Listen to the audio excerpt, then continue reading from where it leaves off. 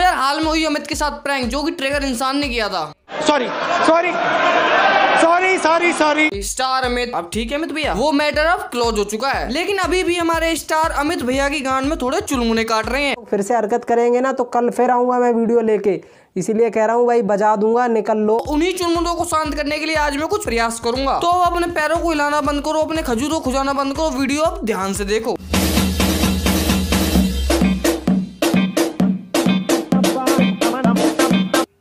भाई ये क्या है? बताओ ये क्या है? ये है लोड़ा। बताइए थूक के साथ लोगे या पानी के साथ? या सूखा ही ले लोगे? भाई यार मेरा दिमाग खराब कर रहे हो यार। भाई कैसा कंटेंट बनाते हो? भाई इसमें कोई लॉजिक इतना सही बोला मैं तो भैया ने लॉजिक तो है ही नहीं क्योंकि सारा लॉजिक तो इन्हीं के वीडियो में है। इनकी हर एक वीडियो में लॉजिक ही लॉजिक भरा होता है। इनकी एक वीडियो में तो इतना लॉजिक था कि यूट्यूब वालों को इनका लॉजिक ही बर्दाश्त नहीं हुआ। उन्हें मजबूर इनके चैनल को ही डिलीट करना पड़ गया।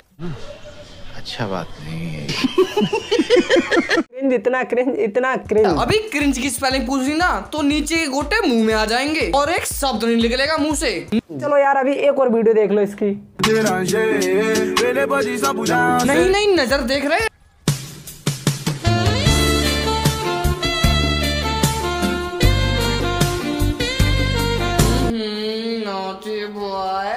दिमाग कोई सेंस नाम की चीज़ है कि नहीं इसके अंदर? पहली बात तो उस इंसान के ऊपर रोस्ट कर रहा है जिसे घंटा ही फ़र्क नहीं पड़ता। लेकिन अगर उसने इसके ऊपर रोस्ट मार दी तो खुली सड़क पर बिना तेल के ही देनी पड़ जाएगी। और फिर रो रो के कितना भी मांग लियो, सॉरी, घंटा ही फ़र्क नहीं पड़ेगा किसी को। भूल जाइयो यूट्यूब रोड के साइड में ही अपना सेक्स स्टॉल चलाना पड़ेगा। और उस सेक्स स्टॉल की हेडिंग होगी हमें सेक्स स्टॉल वाला, ले लो मेरी और लगाओ अपनी मुट्ठी पर ताला। अब यार ये वो इंसान है जो यूट्यूब पे आता हो गया, लेकिन इसे पता ही नहीं है कि करना क्या है। बोलता ब्लॉगिंग की है, लेकिन करता रोस्टिंग है। फिक्स करके आओ ना यार अपना पहले। मेरे से तो गलती हुई है मैं माफ़ी माँगता हूँ। और भाई मेरे से गलती नहीं भाई बहुत बड़ी गलती हो गई है। अरे वाह बहुत जल्दी समझ गए। अब जिसकी वजह से फ़ेमस हुआ है अब उसी पर रोस्ट वीडियो बनाकर उसे बुरा कहकर कौन सा अच्छा काम कर रहा है? ये जितने भी रोस्टर है ना ट्रिगर्ड इंसान धीरू मोंचिक लक्ष्या चौधरी और थगेश वगैरह जितने भी हैं भाई इनको क्या लगता है कि एक कंप्यूटर रख लो उसके सामने बैठ जाओ थोड़ा सा रिएक्शन दो पाँच मिनट का मीम डाल दो पाँच मिनट तक दांत निकाल दो बस कंटेंट बन गया। हाँ बिल्कुल कंटेंट तो ऐसे बनता है। थोड़ी आँखें बंद करके हाथों को ऊपर उठा के बोलना पड़ता है की गाइस ले लो मेरी। और भाई का कॉन्टेंट भाई का कॉन्टेंट ही तो रियल है। बाकी सबका तो फेक है यार। क्योंकि भाई का कॉन्टेंट पेट्रोल पंप के पीछे बनता है। और बहुत दूर दूर से लोग आते हैं भाई का कंटेंट बनाने के लिए। तो भाई तो यार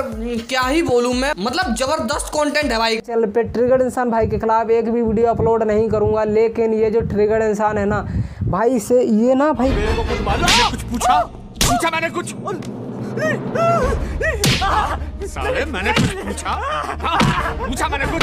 तो तुझसे बोला किसने वीडियो बना? मैंने तो नहीं बोला और पब्लिक ने भी नहीं बोला। और जिसके ऊपर वीडियो बना रहा है वो घंटा भी तेरी वीडियो नहीं देखता। तो भाई वीडियो मत बना। क्यों परेशान कर रहा है अपने आप को और जनता को? तेरा तो स्टार वाला काम ही बढ़िया चल रहा है। स्टार अमित है समझा क्या? बेटा दादा बोल रहा है भाई सबका। तू स्टार अमित का दादा है क्या? चुका है अभी रियल वाला। तो स्टार अमित आ चुका है अरे स्टार है तू पोन स्टार के पोन स्टार यूट्यूब पर कहा गया तू? अब यूट्यूब के लोग तो अपने पीछे ही आगे स्टार लगाते नहीं है। स्टार तो सिर्फ़ दो लोगों में लगता है, या तो फ़िल्म हिस्ट्री में या फिर पोन हिस्ट्री में। तो फ़िल्म हिस्ट्री के लायक तो तू है नहीं तो हो सकता है शायद तू पोन स्टार हो, और वो भी गे पोन स्टार लोगों के पास जाके उनसे पूछ रहे थे कि के को जानते हो? वो लोग तो भाई ज़ाहिर सी बात है कि मना कर ही देंगे क्योंकि भाई उनको तो पैसे मिल रहे हैं उस काम के। ट्रिगर इंसान ने क्या किया होगा कि लोगों के पास जाके उनको पाँच सौ दे दिए होंगे? स्टार भाई बिल्कुल सही कह रहा है। क्योंकि जब ट्रिगर भाई पैसे दे रहे थे तो वहीं एक बिल्डिंग के पीछे हमारे पोन स्टार भाई एक इंसान के साथ मिलकर अपना कंटेंट बना रहे थे। कॉन्फिडेंस देख रहे हो बंदे को। लगता है ना कि के आर के भाई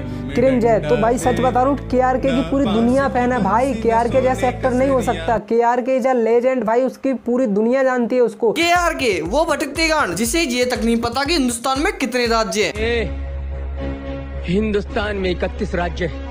और अब तो गंजा और हो गया है। ऐसा लगता है जैसे हल्का खुला हुआ टोपा हो। सकता के आर के इज़ लेजेंड भाई उसकी पूरी दुनिया जानती है उसको। एकता कपूर खड़ी हुई मिल गई। उन्होंने जानते हुए भी मुझे नहीं पहचाना। मुझे एयरपोर्ट में करण जौहर साहब भी मिले उन्होंने मुझे नहीं पहचाना। मुझे एक जगह डेविड धवन साहब भी मिले, मुझे उन्होंने नहीं पहचाना। और भी कई लोग मिले, उन्होंने मुझे नहीं पहचाना। आ? कौन जानता है तेरे को उधर तेरी माँ का भोसड़ा तेरी? कुछ फ़ायदा नहीं है, देख। अच्छा खासा घर पे रोटी, चावल, ये सब भाजी बीजी बना बेंचो घर संभाल। है दो दिन बाद क्या होने वाला दो दिन बाद भाई पूरी कम्युनिटी हिलाने वाला हूँ पूरी यूट्यूब कम्युनिटी को हिला के रख दूँगा मैं। दो दिन यूट्यूब पर एक महीने समथिंग हो गया वीडियो डले हुए। लेकिन कम्युनिटी की तो छोड़ो किसी और का भी नहीं लाया। बेटे बच्चा है बच्चा बन के रहा यूट्यूब पे अभी किंग आ चुका है? यूट्यूब को अपना राजा मिल चुका है यूट्यूब को अपना ऑनर मिल चुका है अभी रियल वाला। तो स्टार अमित आ चुका है अभी तू निकल ले। पहली फुर्सत में निकल अब इसकी इस बात पर मैं कुछ नहीं बोलूँगा। आप इस वीडियो के नीचे कमेंट करके इस बात का रिप्लाई दोगे। दो दिन तो ऐसा बोल रहा है जैसे यूट्यूब वालों से इसकी लेने देने की बातें फिक्स हो गई हूँ। कॉन्फिडेंस देख रहे हो लौंडे का? अब बस यार वीडियो यहीं पे खत्म करते हैं और आप सभी से हार्दिक निवेदन है। अमित भैया के लिए दो दो लाइन या दो दो शब्द मेरी वीडियो के नीचे कमेंट बॉक्स में ज़रूर लिखे। धन्यवाद। जयराम जी। मैं गुस्से में ही रहता हूँ।